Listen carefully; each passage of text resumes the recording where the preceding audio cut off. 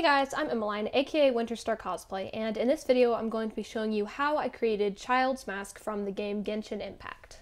This video was sponsored by Worbla, and I primarily used Worbla's black art and some EVA foam from TNT Cosplay Supply to complete this build. If you want to see how I made it and how to make your own, then keep watching.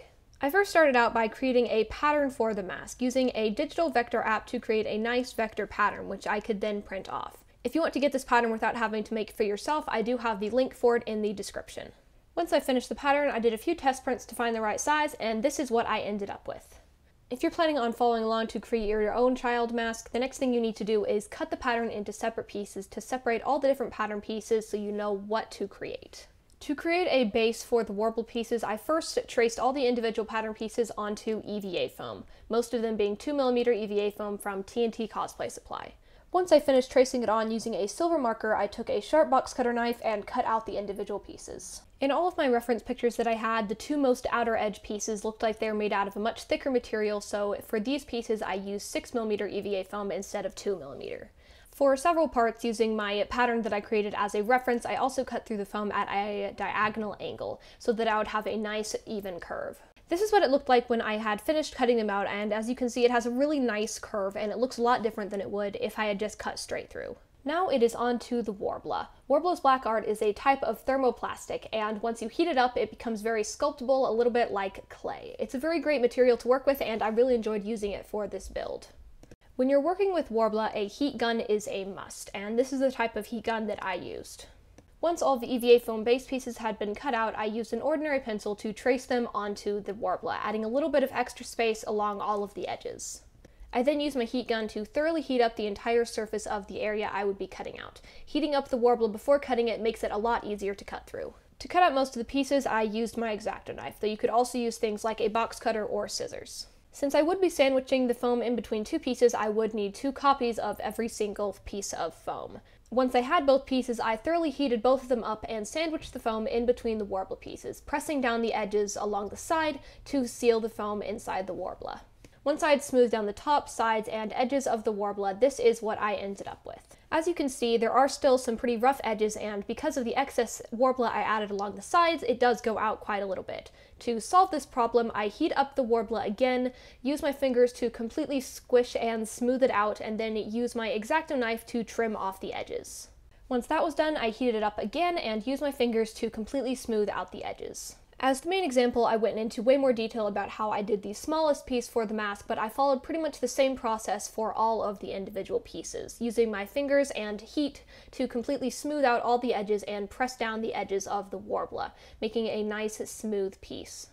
This main top piece was a little bit trickier since there were parts I had to cut out in the middle, but I still pretty much followed the same process. Heating up the foam, using my X-Acto knife to cut it out, and then once I laid it on top of the foam, use my fingers as well as the back end of my X-Acto knife to smooth out the inside portion.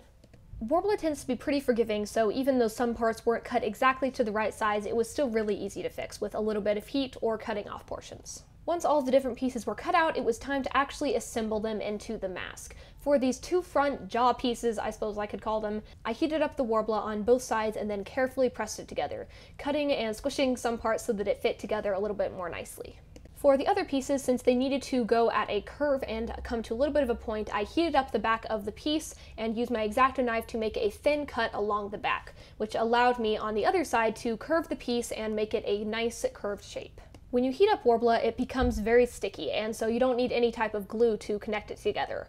For the mask, all I needed to do was to heat up both pieces of the Worbla foam sandwiches and then carefully press them together. If I didn't do it quite right, I could also just heat it up and adjust it a bit more. This small Worbla triangle was a little bit tricky to get centered and in the correct place, but I eventually managed it by heating up the back of the larger pieces and the front of the smallest one and connecting them together.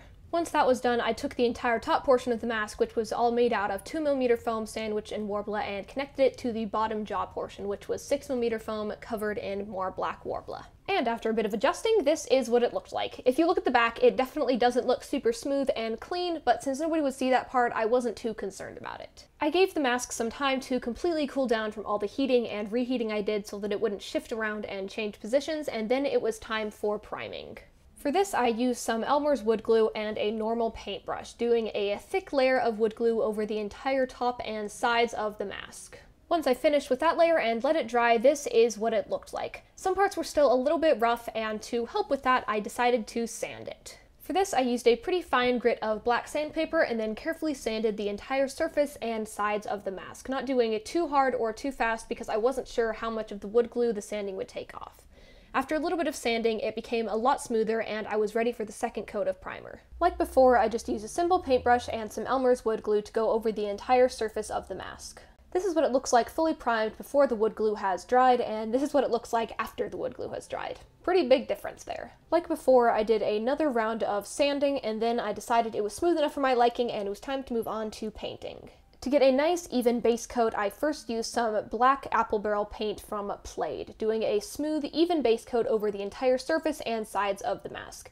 This really helped to cover up any other tiny flaws as well as the different coloration from the wood glue.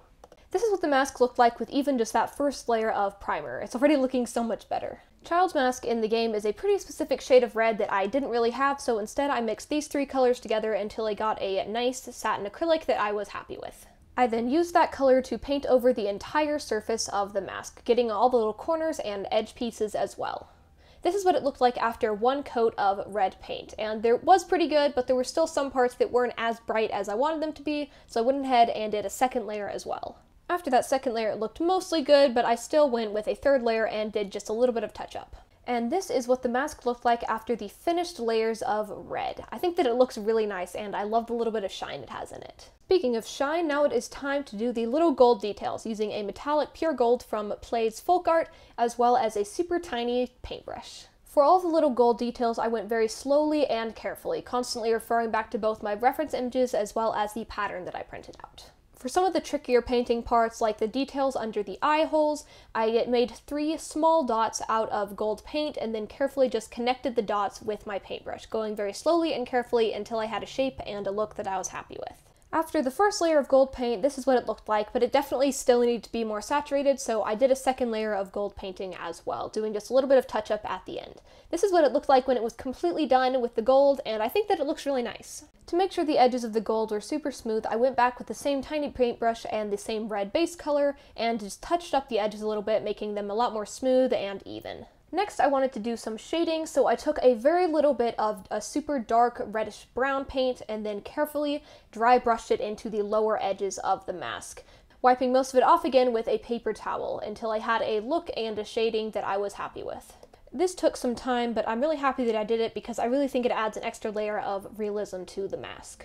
And once it was done with all the shading, this is what the mask looked like. It still wasn't quite done though, I needed to seal it. I was recently accepted into Plaid's creative community, and as a part of that, they sent me a large box of paint and paintbrushes and lots of Mod Podge, which I decided to use for this project, so thank you for that, Plaid. I used the Mod Podge in a satin finish and did a thin layer over the entire surface of the mask.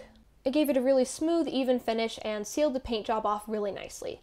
And then the mask was completed. Thank you so much, Worbla, for sponsoring this build and this video, and thank you for Plaid for providing the Mod Podge as well. Thank you so much for watching, and I'll see you all next time.